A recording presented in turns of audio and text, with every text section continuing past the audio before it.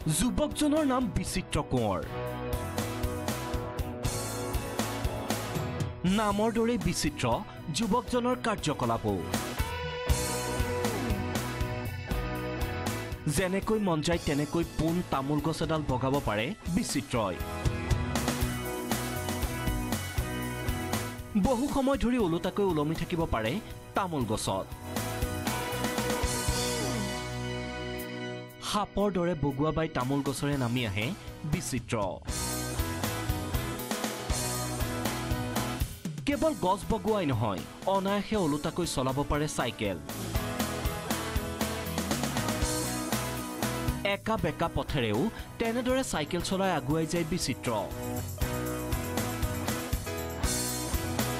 Cycle চলাই আমনি লাগিলে চাৰিঠেঙীয়া ৰূপ লয় যুৱকজনে। ভৰিৰ লগতে দুহাতত ভৰ দি তীব্ৰ গতিৰে আগবাঢ়ে সি ইফালে দুই ভৰি ওপৰলৈ কৰি দুহাতত ভৰ দি খোজকাঢ়িবও পাৰে বিচিত্ৰই। আনকি বহু কঠিন যোগাভ্যাস সহজেই কৰি দেখুৱাব পাৰে তেওঁ। বিচিত্ৰ কোঁৱৰৰ জন্মগত প্ৰতিভা এয়া। সৰুৰে পৰা কৰি অহা অভ্যাসৰ ফলত এনে দুঃসাহসিক কাৰ্যকলাপত পাৰ্গত হৈ পৰিছে বিচিত্ৰ। কিন্তু শৈশৱত আনক আনন্দ দিবলৈ কৰা এনে কামবোৰেই পিছলৈ তেওঁ কৰিবলগীয়া হৈছে জীয়াই থকাৰ তাৰণাত ডিব্ৰুগড় জিলাৰ য'ত ত'ত এনে দুঃসাহসিক কাৰ্যকলাপ দেখুৱাই পঢ়াৰ খৰচ মোকলাই স্নাতকৰ তৃতীয় ষণ্মাসিকত উপনীত হৈছে বিচিত্ৰ কোঁৱৰ। মোৰ নাম বিচিত্ৰ কোঁৱৰ ঘৰ ৰতনপুৰ। মই বৰ্তমান বি এড থাৰ্ড চেমত পঢ়ি আছোঁ আৰু মই বিভিন্ন ধৰণৰ প্ৰতিভা প্ৰদৰ্শন কৰোঁ। আৰু মই জীৱ জন্তুৰ মাত উলিয়াওঁ গছৰ পৰা ওলোটাকৈ নামি আহোঁ ওলোটাকৈ চাইকেল চলাওঁ বান্দৰৰ দৰে দৌৰোঁ আৰু বিভিন্ন ধৰণৰ খেল প্ৰদৰ্শন কৰোঁ। এইখিনি মই সৰুৰ পৰাই কৰি আহিছোঁ।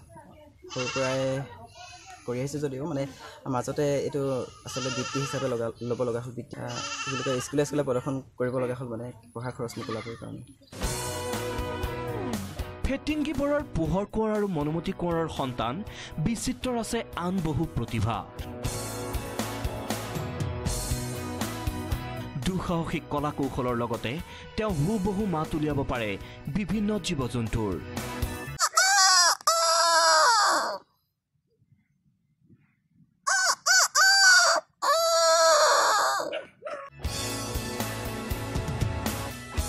টিংখাং মহাবিদ্যালয়ত অধ্যয়ন কৰা অতি অমায়িক স্বভাৱৰ যুৱকজনৰ আছে আৰু ব্যতিক্ৰমী কিবা এটা কৰাৰ সপোন।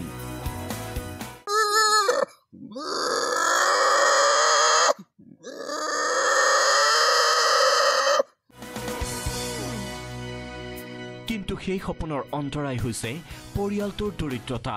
তাৰ বাবে বিচিত্ৰক প্ৰয়োজন আপোনাৰ এধানি সহায়ৰ।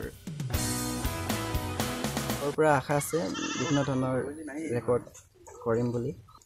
আৰ্থিক দিশত সহায়ৰ প্ৰয়োজন কাৰণ আমাৰ ঘৰৰ অৱস্থা একেবাৰে বেয়া যিহেতুকে আৰ্থিক দিশৰ মানে উন্নতি উন্নতিৰ হওক বা নিজৰ প্ৰতিভা বিকাশৰ বাবেই মোক আৰ্থিক অলপ সহায়ৰ প্ৰয়োজন।